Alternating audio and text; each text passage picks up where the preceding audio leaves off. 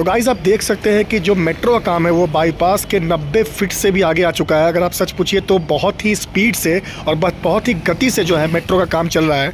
आप यहाँ अपडेट देख सकते हैं जो मैं वीडियो तो इस वीडियो को आराम से देखिए गाइज़ और इसको शेयर करें बने रही वीडियो में। गाइज़ मैं उस सौरभ, आपका स्वागत करता हूँ चैनल पटना इंस्टेंट पे। सबसे पहले गाइज़ सब्सक्राइब कर दें मेरे चैनल को और बेल आइकन ज़रूर दबा दें आगे के अपडेट के लिए। फ्रेंड्स मैं आ गया हूँ मेट्रो का अपडेट देने के लिए। मेट्रो का अपडेट देने पहुँच गया हूँ मैं मीठापुर, जो पुरानी बस स्टैंड से वहाँ से लेकर मैं जा रहा हूँ आपको नब्बे फिट तक। जहाँ जगनपुरा पड़ता है, वहाँ तक का अपडेट देने। बने रहिए ब्लॉग में अंत तक। काफ़ी बड़ा अपडेट और काफ़ी बढ़िया अपडेट है। बने रहिए व्लॉग में। सब्सक्राइब ज़रूर कर दें। थैंक यू तो फ्रेंड्स अगर हम लोग मीठापुर बस स्टैंड, जो पुराना बस स्टैंड है, वहाँ से अगर हम लोग 90 फीट तरफ़ जाते हैं तो ये रूट पड़ता है मेट्रो का। आपको दिख सकता है कि जो मेट्रो के जो पिलर्स हैं, वो कितने बन के तैयार हो गए और काफ़ी ज़्यादा स्पीड से, काफ़ी स्पीड से जो गति है, वो फिर से पकड़ लिया है मेट्रो ने। बीच में थोड़ा सा मेट्रो जो है स्लो डाउन हो गया था बट समझिए फिर से जो पटना में जो मेट्रो की गति है ना, वो फिर से पकड़ चुका है मेट्रो का जो पूरा प्रोजेक्ट है, जो पूरा टीम है।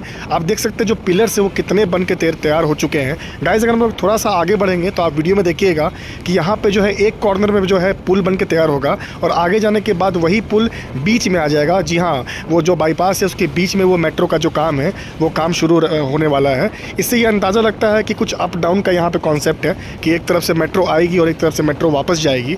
एक ही पुल की तरफ़ से अप डाउन नहीं होने वाला है। दो तरफ़ से ये मेट्रो का जो है अप डाउन का जो स्ट्रेटजी है, वो तैयार हो रहा है।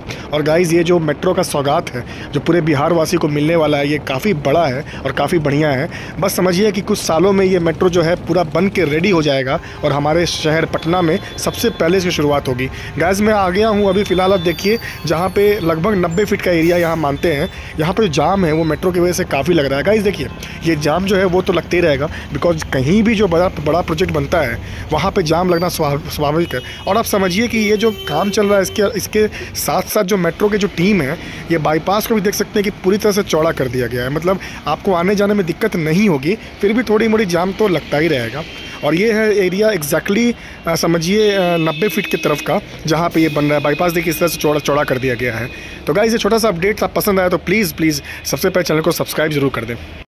तो फ्रेंड्स जैसा कि मैंने बताया था कुछ देर पहले कि अभी हम लोग जब आते हैं मीठापुर बस स्टैंड से पुरानी वाला में तो वहाँ पे कॉर्नर पे जो भी मेट्रो के जो पुल से जो कंस्ट्रक्शन है, वो बन रहे हैं और यहाँ आते ही 90 फीट की तरफ़ वो बीच में आ जाते हैं। तो इसके पीछे कुछ कन्फ्यूज़न है, कुछ स्ट्रैटी है मेट्रो का तो वो मैं क्लियर कर दूँगा जैसे मुझे क्लियर होगा कन्फ्यूज़न ऐसा लग लग रहा है कि यहाँ पर कुछ स्टेशन का कॉन्सेप्ट है जो कि बन के तैयार हो रहा है। तो प्लीज़ इस वीडियो को शेयर करें और लाइक ज़रूर करें और इस चैनल को सब्सक्राइब करना बिल्कुल ना भूलें। फ्रेंड्स, अगर ये छोटा सा अपडेट आपको पसंद आया होगा, अगर आपको लगा होगा कि इसमें जानकारी मिली है तो प्लीज़ मेरे चैनल को सब्सक्राइब कर दें। और थैंक यू सो मच मेरे ब्लॉग बनने के लिए, मेरे वीडियो बनने के लिए। शेयर करें। थैंक यू सो मच बाबा टेक केयर